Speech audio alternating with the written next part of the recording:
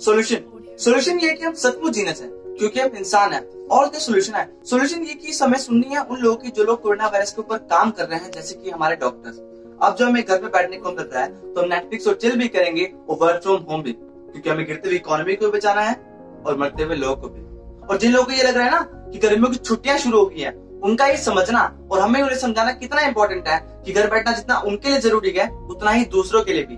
IPL premier league NBA F one school college सब बंद हो चुके हैं। और पिक्चर्स की रिलीजेस तक रुक गई हैं तो अब हम भी घर पर रुकेंगे। अब जब रेस्टोरेंट पब में जाना हमारे लिए सेफ़ नहीं है तो हम घर पर रहकर भी कितने डिशेस को एक्सपीरियंस कर सकते हैं और at home quality time spend कर सकते हैं, ये जानने का समय है। डीप डाउन सब जानते हैं कि हम जिनसे प्यार करते हैं, उनकी केयर करते हैं। तो इस समय केयर का मतलब है आपस में थोड़ा डिस्टेंस मेंटेन करना ताकि आप भी सेफ़ रह सके और आपके अपने भी। और हाँ अगर आपको कोरोना स्ट्रेस को रोकना है तो उसके लिए मेडिटेट करना, घर पर एक्सरसाइज करना और पॉजिटिव रहना बहुत ज़रूरी है, ताकि काफ़ी हद तक हम थर्ड लेयर को रोक सके।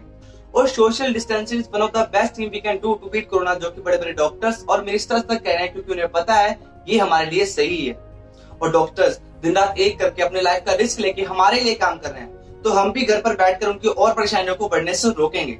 और जितने भी लोग किसी भी ट्रांसपोर्टेशन प्लेन ट्रेन इन सब चीज़ों से ट्रैवल कर रहे हैं, उनका कुछ चीज़ों का ध्यान रखना बहुत ज़रूरी है। जैसे कि हाथों को सैनिटाइज करना फेस मास्क का यूज़ करना और सोशल डिस्टेंस को मेंटेन करना, ताकि लोगों को ये सब चीज़ें दोबारा बंद ना करनी पड़े।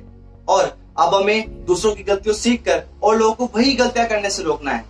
अब वो टाइम है जब हमें घर पर बैठना भी है और और लोगों को घर पर बिठाना भी है। और सोशल डिस्टेंसिंग का ध्यान पूरी तरह रखना है बाहर निकलते हुए। वैक्सीनेशन शुरू हो चुकी है। बहुत से लोगों को वैक्सीन लग गई है और बाकी लोगों को भी धीरे धीरे वैक्सीन लग जाएगी। तब तक के लिए हमें पैनिक न करते हुए गवर्नमेंट से गुड न्यूज़ का इंतज़ार करना है। सब पर एक साथ आई है मुसीबत। समय के साथ हम सब इस मुसीबत से निकल भी जाएँगे। क्योंकि खुद पर दूसरों को भरोसा करेंगे, अभी पार्टी नहीं करेंगे ट्रैवल नहीं करेंगे, लोगों को नहीं मिलेंगे नेटफ्लिक्स अकेले करेंगे, घर से काम करेंगे, घर पे काम करेंगे, घर के काम करेंगे, अभी शादी नहीं करेंगे, मम्मी पापा के साथ टाइम स्पेंड करेंगे मेडिटेट करेंगे वीडियो कॉल करेंगे हैंड वॉश करेंगे फेस वॉश नहीं करेंगे फेस मास्क यूज़ करेंगे, जे अब भी आपको अभी नहीं मिलेंगे, नमस्ते करेंगे, सबसे दूर रहेंगे कोरोना स्टॉप करेंगे।